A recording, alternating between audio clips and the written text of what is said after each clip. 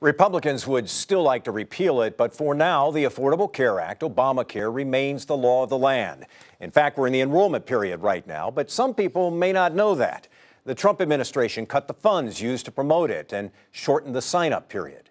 The deadline to buy health insurance on the federal exchanges is December 15th, and in some parts of the country, enrollment was up sharply heading into the Thanksgiving holiday. We're looking at how it's going in Wisconsin now with Cathy Mahaffey, the CEO of the Common Ground Healthcare Cooperative. Welcome back to Upfront. Thank you. So you're, you're operating in 19 counties in eastern Wisconsin. How has the enrollment period gone for you?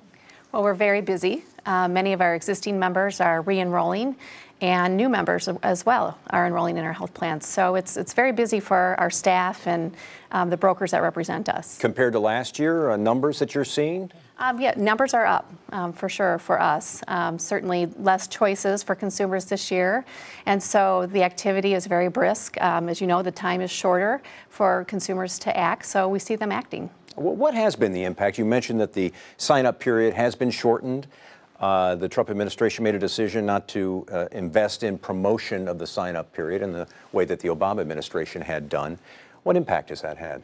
Well, for us, I think we're fortunate because we have um, navigators and enrollment assisters providers of health care and brokers who are out there getting the word out, trying to get consumers to act and act quickly. So I think Wisconsin's pretty strong in that regard, and so we're really seeing um, the benefits of that. But we're concerned too. We really want to get the word out that December 15th is it this year, so people need to act very quickly. There is so much uncertainty about the future of the Affordable Care Act. We talked uh, about this a year ago. There was uncertainty then. I think it's only been heightened since then.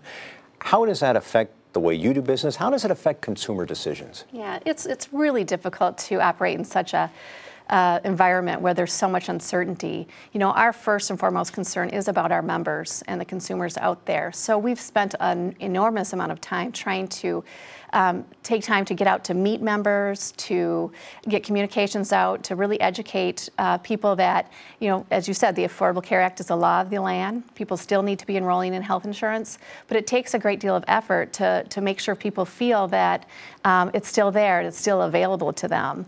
But it, it, it's tough. It's tough to make decisions. It's tough to operate in such an uncertain environment. So we continue to hope um, that uh, we'll see some more certainty as we move along. Premium increases, too, for some people have spiked sharply. If you get subsidies and, and you can and you can bring the cost way down, but for some people, that's not happening. Right, that's been our main concern for 2018. You're hearing that from your, your customers? Absolutely. We've been out having uh, meetings with our members, and in every single meeting, we have a group of folks that speak up and talk about the fact that they're, they're entrepreneurs, they have their very successful businesses, they're CPAs, they're consultants, and they don't qualify for any financial assistance. And their premiums have increased so significantly, and we're very, very concerned for those, those folks. I honestly don't know what they're going to do about their health care choice uh, next year. It's very troubling, and, and that's really been um, an unfortunate result of no action um, to, to help repair the Affordable Care Act. Uh, are you optimistic that action will be taken to help repair it, or, or are we going to continue to live with the uncertainty for the foreseeable future? Well, I absolutely want to be optimistic, um, and you know we're going to be uh, relentlessly advocating for our members to um, advocate for something to be changed and, and improved. But unfortunately, uh, when I look at this year and the lack of inaction, that really causes me uh, great concern. So what I'm hoping is that if the federal, federal uh, government doesn't act, that perhaps our state will. Perhaps our state will do something to step in and make things better for individuals that need health insurance. And final question, well, why have you continued to, uh, to be a part of the, the exchanges? A lot of uh, uh, insurers have decided to back away from that. Why are you still part of the exchange? Well, we're absolutely committed to our mission, which is to serve people in the individual market who, who absolutely need health insurance. In fact, in seven counties in the state, we're the only insurance carrier offering coverage on the exchange. Without us, those people would have no option for health insurance. So our board and our staff are very, very committed to this market.